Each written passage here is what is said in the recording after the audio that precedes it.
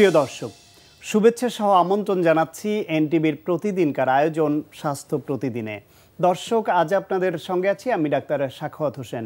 প্রিয় দর্শক, আজকের এই অনুষ্ঠানে আমরা আলোচনা করব ত্বকের রং কি ফর্সা হয় এ বিষয়ে। এ বিষয়ে কথা বলবার জন্য আমাদের সঙ্গে স্টুডিওতে উপস্থিত আছেন একজন চর্মরোগ বিশেষজ্ঞ। চলুন দর্শক, অনুষ্ঠানের শুরুতেই আমরা পরিচিত হয়ে নেই আমাদের আজকের অতিথির সঙ্গে। ডাক্তার ফারিয়াল হক উনিশশো আটাশি সালের মার্চ মাসে খুলনা জেলায় জন্মগ্রহণ করেন। তিনি দু হাজার এগারো সালে আর্মড ফোর্সেস মেডিকেল কলেজ থেকে এমবিবিএস ডিগ্রি অর্জন করেন। এরপর তিনি চিকিৎসা বিজ্ঞানে উচ্চতর ডিডিভি ডিগ্রি লাভ করেন। বর্তমানে তিনি প্রেসক্রিপশন পয়েন্টে চর্ম ও যৌন বিভাগের কনসালটেন্ট হিসেবে কর্মরত। আপনাকে আমন্ত্রণ জানাচ্ছি আমাদের অনুষ্ঠানে। ধন্যবাদ। ত্বকের রং ফর্সা করার আকাঙ্ক্ষা আমাদের অনেকের থাকে। যদিও স্রষ্টা আমাদের প্রত্যেককেই সারা পৃথিবীতে মানুষকে যেরকম ত্বকের রং দিয়েছেন, সেটিকে সুস্থ করে রাখতে পারা এবং সৌন্দর্য রক্ষা করাটাই গুরুত্বপূর্ণ। তারপরও আমরা কেউ কেউ ফর্সা হতে চাই। ত্বকের রং কি ফর্সা করা যায়? আসলে খুব গুরুত্বপূর্ণ একটা টপিক নিয়ে আমরা আজকে কথা বলছি। আসল কথা হলো যে স্রষ্টা আমাদেরকে যে রংটা দিয়েছেন সেটাকে সুস্থ করে রাখাটাই কিন্তু মেইন সৌন্দর্য। কিন্তু তারপরও কিছু কিছু মানুষের মনে একটা ক্ষোভ থাকে যে, আমার রংটা কেন এরকম হলো? আমি তো আরেকটু ফর্সা হতে পারতাম। তো প্রতিদিন দৈনন্দিন আমাদের চেম্বারে প্র্যাকটিসে আমরা এটা ফেস করে থাকি যে টিন এজ থেকে শুরু করে যে কোনো বয়সেরই বিশেষ করে বেশিরভাগ মেয়েরাই আসে যে ত্বক রং ফর্সা করার জন্য। তো আসলে যেটা আমাদের যে ট্রিটমেন্ট বেসিসগুলো আছে, এটা হচ্ছে যে প্রত্যেকটাই কিন্তু একদম hundred percent life long permanent না। এগুলা আসলে যেগুলো করা হয় প্রসিডিউরের মাধ্যমে আমরা যে সমস্ত প্রসিডিউর করে থাকি, ত্বকের রং সুস্থ করার জন্য, গ্লোয়িং করার জন্য এবং কিছুটা ফর্সা করার জন্য, সেগুলো প্রত্যেকটাই কিন্তু টেম্পোরারি কোনোটাই হান্ড্রেড পার্সেন্ট পারমানেন্ট না। একজন মানুষের ত্বকের যে কালার বা রং, এটা নির্ধারণ হয় কি দিয়ে? আমরা দেখছি যে কালো মানুষ যারা তারা অনেক কালো। তাদের আপনি যত কিছুই করেন আসলে ফর্সা করা সম্ভব নয়। ব্রাউন পিপল যারা ধরেন আমরা যারা আমরা একটু আকাঙ্ক্ষা থাকে কিছু দিয়ে একটু গ্লো আনা বা একটু ফর্সা করার চেষ্টা করে এটা অনেকে করে থাকেন। আবার কেউ কেউ আছেন মানে সাদা চামড়া বা বা ফর্সা ত্বক এটা আমরা বলি। এই ত্বকের এই ধরনটা নির্ধারণ হয় কিসের উপরে? সুন্দর একটা খুব চমৎকার একটা কোয়েশ্চেন করেছেন। আসলে সারা বিশ্বে আমরা যত মানুষ আছি, তাদের টোটাল পপুলেশনকে আমরা সাধারণত ফিটস প্যাট্রিক্স টাইপ বলা হয় স্কিন টাইপ বলা হয়, আমরা ছয়টা ভাগে ভাগ করি। এটা স্কিন কালার চোখের আইরিশের কালার আর চুলের কালার ডিপেন্ড করে আমরা ছয়টা ভাগে ভাগ করে থাকি skin type one two three four five six এখন এর মধ্যে skin type one two three যারা, তারা হচ্ছে ব্রিটিশ আমরা যে দেখি না ব্রিটিশ আমেরিকানদের কালার যেরকম, এদের হচ্ছে skin type one two three মানে whitish skin type four five হচ্ছে আমাদের মতন এশিয়ান ফোরটা আমাদের মতন এশিয়ানদের ফাইভটা আরেকটু ডার্ক আর সিক্স আফ্রিকান যারা। তো এই টোটাল কালারটা কিন্তু ডিপেন্ড করে হচ্ছে আমাদের স্কিনে যে মেলানোসাইট যে সেলটা আছে, ওর অ্যাক্টিভিটিসের উপর। মানে মেলানোসাইট যে সেলটা থাকে, এর কাজ হচ্ছে সানলাইট থেকে আমাদেরকে প্রোটেকশন করা। আমাদের ভিতরের সেল লেয়ারগুলোকে প্রোটেকশন করা। সো যদি এই মেলানোসাইটটা বেশি সেনসিটিভ হয় সেক্ষেত্রে ও বেশি বেশি মেলানিন প্রডিউস করে। আর এই মেলানিনটাই হচ্ছে ত্বকের রঙকে নির্ধারণ করে। কার তাক মানে ত্বক কেমন হবে? কার ত্বক কেমন হবে? এই যে মেলানোসাইট যাদের থাকে বেশি মেলানিন প্রোডাকশন বেশি হয় ত্বকের রঙটা একটু ডার্ক হয় কিছু রোগের ক্ষেত্রেও সাদা ত্বক এবং ব্রাউন বা ব্ল্যাক পিপল যারা, এদের কিছু পার্থক্য হয়। মানে আপনি তো এই বিষয়ে যেহেতু কাজ করছেন, কালো ত্বক হওয়া কি স্বাস্থ্যগত দিক থেকে কোনো ক্ষতির কারণ নাকি ভালো? না, স্বাস্থ্যকর দিক থেকে কালো ত্বক হওয়াটা সব থেকে ভালো। কারণ তার মেলান, মেলানিন প্রোডাকশন বেশি হচ্ছে। তার মানে আমি সূর্যের আলো থেকে যে, আমরা যদি সূর্যের আলো থেকে প্রোটেকশন না পাই, তাহলে আমাদের ডিপ লেভেলে যখন সূর্যের রশ্মিটা পৌঁছে যাবে, তখন আমাদের স্কিন ক্যান্সার হওয়ার চান্সটা অনেক বেশি বেড়ে যায়। তো যখন যে একটা কালো মানুষ তার অবশ্যই মেলানোসাইটের পরিমাণ বেশি তার মেলানিনের প্রোডাকশনটা বেশি সো তার কিন্তু সান থেকে প্রোটেকশন ন্যাচারাল প্রোটেকশন যেটাকে বলা হয় সেটা অলরেডি তার আছে। সো অবশ্যই যে অনেক ফর্সা একটা lady skin type one skin type two তার থেকে skin type four five six এদের স্কিনের মান অনেক ভালো। এজন্য বহির্বিশ্বে দেখবেন যে সানবাত করে। সানবাদ করে কেন? যে আমাদের ইয়েতে যেন শরীরে একটু। হ্যাঁ শরীরে যেন একটু মেলানিন প্রোডাকশন হয় কারণ ওদের skin type one two three যারা তাদের কিন্তু স্কিন ক্যান্সার হওয়ার চান্সটা অনেক বেশি থাকে। তার মানে উপকারী হওয়ার পরেও আমরা এতে অনেকেই সন্তুষ্ট না আমরা কেউ কেউ ফর্সা হতে চাই। এখন এটাকে ফর্সা হওয়ার এই সুযোগ নিয়ে অনেকে রং ফর্সাকারী ক্রিম বা নানান রকমের উপাদান দেন। তার মধ্যে কোনোটা হয়তো কিছুটা উপকার করে কোনোটা আবার ক্ষতিরও কারণ হয়। রং ফর্সা করতে যারা আসেন, তাদেরকে আপনারা কি উপদেশ দেন বা কি করণীয় আছে? আচ্ছা আমাদের কাছে পেশেন্ট যারা আসে, আসলে আমরা অ্যাকচুয়ালি দুইটা গ্রুপ হিসাবে ভাগ করি। একটা গ্রুপ আসছে যে অ্যাবভ থার্টি হয়ে গেছে, তার আনইভেন স্কিন টোন চোখের নিচে কালি হয়তো বা ফ্রেকেলস আছে ছোটো ছোটো, কালো দাগ আছে, মেস্তা আছে সে মুখটাকে শুধু সাদা করতে চায়। অনেকে আসে যে হ্যাঁ আমার মুখটা খুব আমি স্যাটিসফাইড আমার মুখের কালার নিয়ে, আমার মুখের তুলনায় আমার হাতের কালারটা ফর্সা না। সো আমি একটা মানে একটা পার্টিকুলার এরিয়াকে ফর্সা করতে চাই। সেসব ক্ষেত্রে আমরা যেটা করে থাকি পেশেন্টদের জন্য, যে আমরা ওরাল একটা অ্যান্টি অক্সিডেন্ট সাজেস্ট করে থাকি যার মধ্যে ভিটামিন ই আছে ভিটামিন সি আছে। আর সাথে আমরা কিছু প্রসিডিউরে চলে যাই। কারণ সত্যি কথা বলতে, বাজারে যে সমস্ত ক্রিম দিয়ে ফর্সা করার কথা বলা হয় অঙ্গীকার করা করা হয় যে আমি এই ক্রিমটা লাগিয়ে ফর্সা হয়ে যাব, এটাতে আসলে ভয়ঙ্কর স্টেরয়েড দেওয়া থাকে।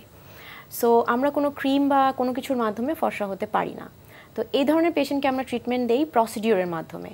যেমন আমার নিজের চেম্বারে আমি করে থাকি কেমিক্যাল পিলস কেমিক্যাল পিলসটা হচ্ছে কেমিক্যাল পিল নাম শুনতে কিন্তু ভয়ঙ্কর যে কেমিক্যাল দিয়ে কিছু একটা বাট এই কেমিক্যালগুলো কিন্তু খুবই ন্যাচারাল সোর্স থেকে আনা হচ্ছে।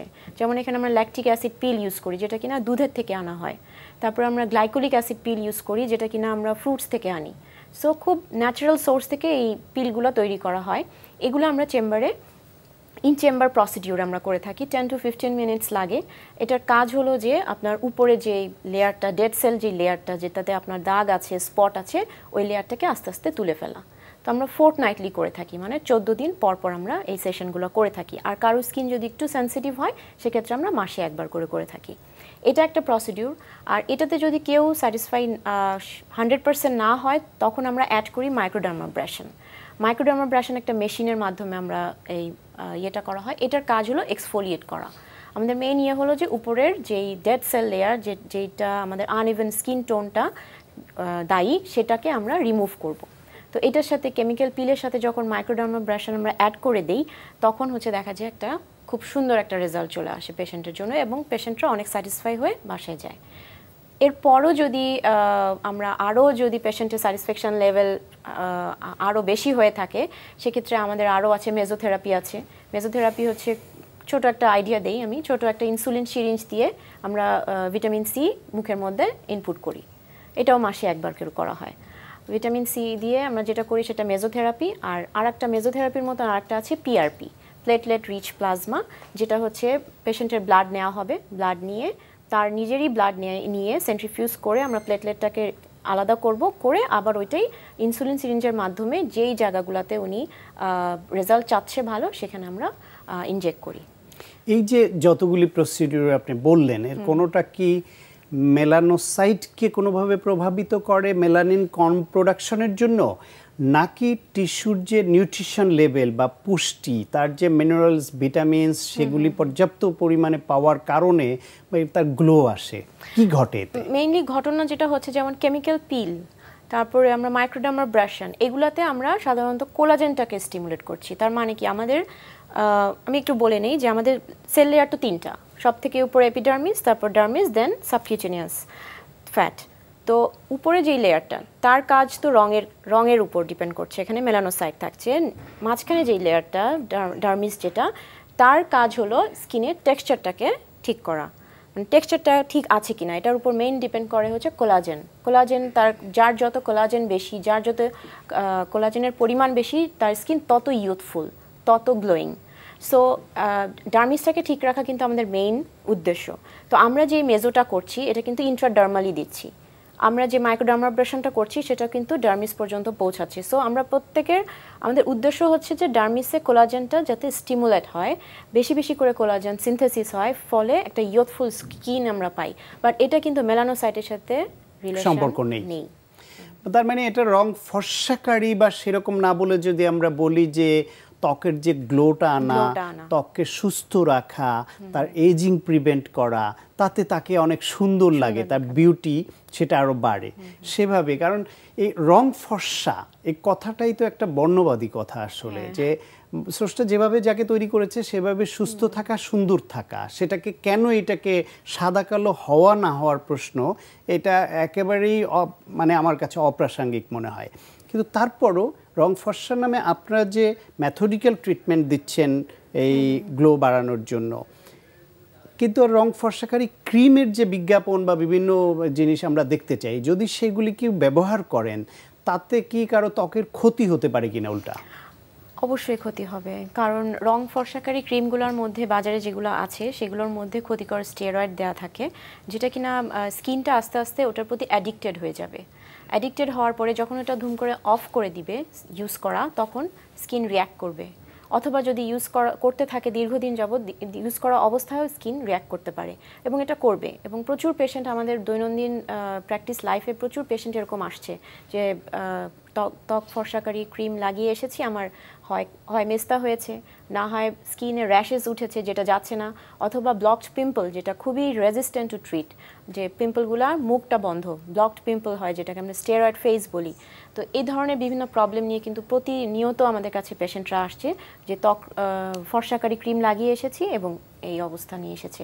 তো সেক্ষেত্রে আমি বলব ত্বক আমাদের ত্বক তো আল্লাহ যেটা দিয়েছেন উপর উপরওয়ালা যেটা দিয়েছেন সেটা তো সেটাকেই মেনে নিতে হবে আমাদের সত্যি কথা বলতে সেটাকে সুন্দর করে গুছিয়ে রাখাটা। তারপরেও আমি বলব যে কিছু আছে কোনো মেয়ের বিয়ে হচ্ছে না হ্যাঁ, শুধুমাত্র রঙের জন্য। কিছু মেয়ে আছে যারা সংসার করছেন ডিভোর্স হয়ে যাচ্ছে বা ডিভোর্স হওয়ার পথে শুধুমাত্র গায়ের রঙের জন্য। কারণ এখন তো আসলে সবাই সবাই সুন্দর। আসলে ওই রকম যদি হয় কারও কারও গায়ের ত্বকের জন্য বিয়ে না হওয়া বা হওয়ার পরে ভেঙে যাওয়া সেই ক্ষেত্রে এই মেয়ের ত্বকের চিকিৎসা না করে তার হাজবেন্ডের সাইকোলজিক্যাল ট্রিটমেন্ট অনেক বেশি গুরুত্বপূর্ণ। অবশ্যই। হ্যাঁ সেক্ষেত্রে আমরা করে থাকি কি এটা আমরা বলি যে লাইফ থ্রেটেনিং একটা কন্ডিশনে চলে এসছে তখন। তখন আমরা না পেরে আমাদের একটা ট্রিটমেন্ট অপশন আছে। সেই সেটার নাম হচ্ছে গ্লুটাথায়ন গ্লুটাথায়নটা আসলে আমরা ওরালিও দিয়ে থাকি এবং ইনজেক্টেবল ফর্মেও পাওয়া যায়। কি হয়? গ্লুটাথায়নটা কি আমি এটা আসলে বলে নেই আগে। গ্লুটাথায়নটা এটা হচ্ছে একটা সুপার অ্যান্টিঅক্সিডেন্ট বডির একটা আমি বলব যে একটা সুপারম্যান যেটা কিনা বডি নিজেই তৈরি করে কিন্তু খুবই অল্প পরিমাণে। আর অ্যান্টিঅক্সিডেন্টের কাজ হচ্ছে যে আমরা যে সারা দিন পলিউশন তারপরে খাদ্যের মধ্যে ভেজাল কেমিক্যাল এগুলো বিভিন্ন কিছু কিন্তু আমাদের ভিতরে ইনটেক করছি। সেটাকে শরীর থেকে বের করে দেওয়াই কিন্তু অ্যান্টিঅক্সিডেন্টের কাজ। তো গ্লুটাথায়নকে বলা হয় শরীরের সুপার অ্যান্টিঅক্সিডেন্ট, যেটা আমাদের শরীরে এমনিতেই তৈরি হয় অল্প পরিমাণে। সেটাকেই আমরা ইনজেক্টেবল ফর্মে অথবা ওরালি আমরা দিয়ে থাকি।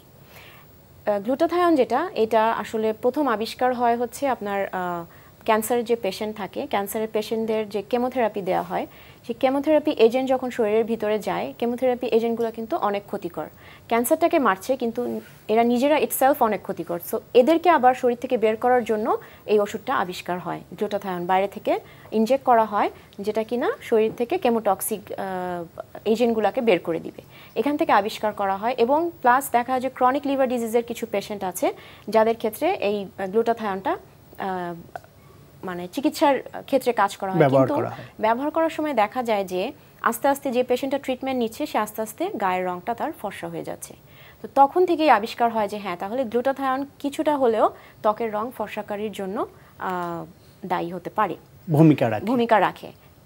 তখন থেকে কিছু কিছু ডার্মাটোলজিস্ট বিশ্বের বিভিন্ন জায়গা থেকে গবেষণা শুরু করে এবং এটা অনেকে প্র্যাকটিসে স্টার্টও করে দিয়েছে বাট এটা ইউএসএ এফডিএ অ্যাপ্রুভড না। কিন্তু তারপরও কিছুটা উপকারে আসছে বলে আপনারা ব্যবহার করছেন। যেমন আমি বলছি যে একদম লাইফ থ্রেটেনিং কন্ডিশনে যারা চলে গেছে যে আমি আত্মহত্যা করব আমার সংসার টিকছে না। হ্যাঁ অথবা আমার আমার বিয়ে হচ্ছে না।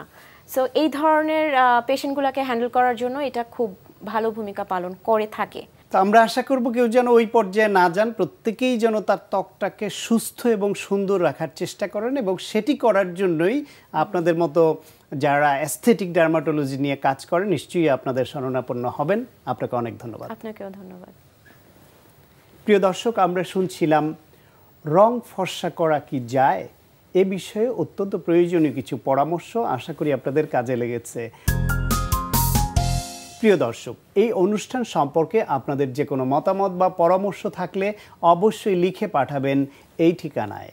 প্রযোজক স্বাস্থ্য প্রতিদিন এনটিভি বিএসসি ভবন সাততলা একশো দুই কাজী নজরুল ইসলাম এভিনিউ কারণ বাজার ঢাকা এক দুই এক পাঁচ। ফ্যাক্স নয় এক চার তিন তিন আট ছয় থেকে সাত পর্যন্ত।